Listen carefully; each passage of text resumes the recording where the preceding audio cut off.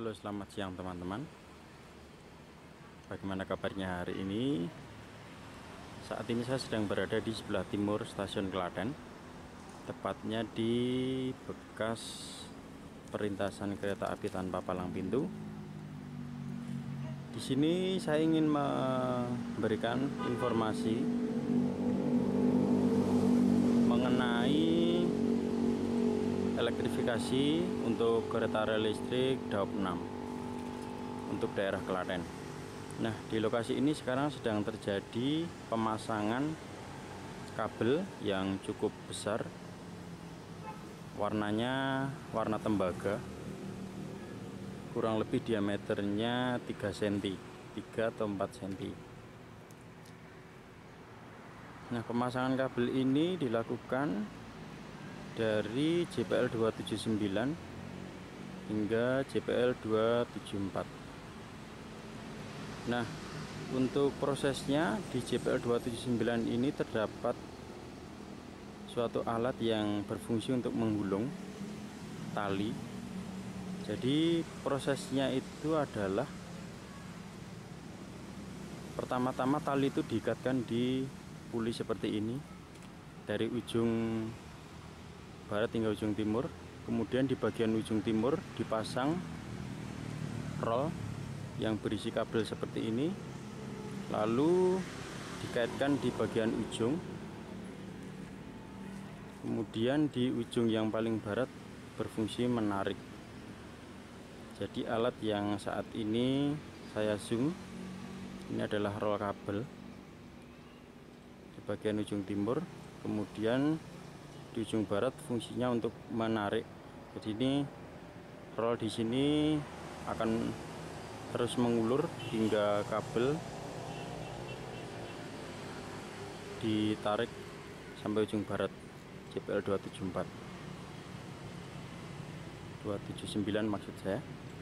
Dan saat ini masih ditarik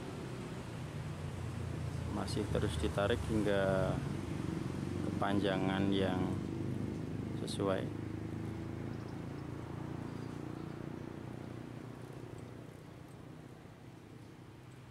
Tidak terlalu cepat namun konstan. Nah ini dia kabelnya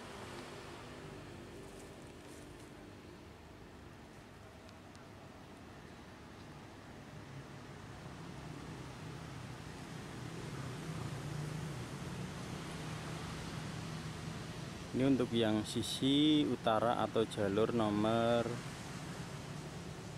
satu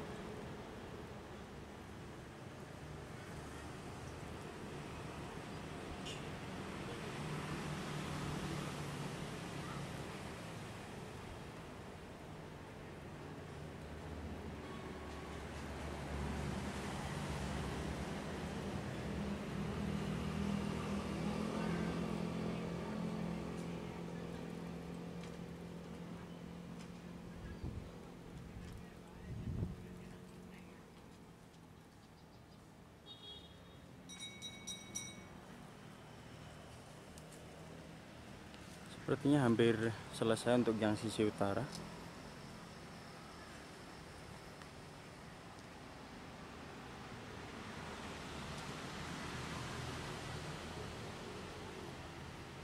Nah, sambungan antara kabel dan tali kurang lebih sampai di sini.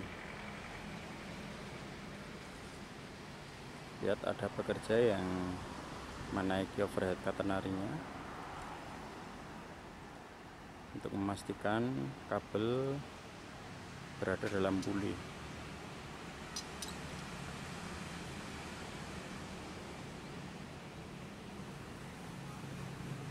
Saat ini pukul 11 siang